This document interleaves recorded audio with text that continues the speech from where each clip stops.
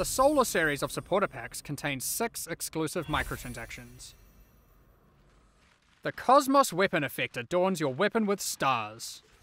Hitting enemies causes cosmic energy to spill out into the area around them. The Radiant Orb of Chance extra effect projects the outcome of items you've used an Orb of Chance on above your head.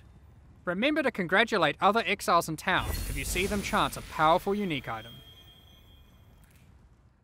Shine boldly with the Solar Knight armor set.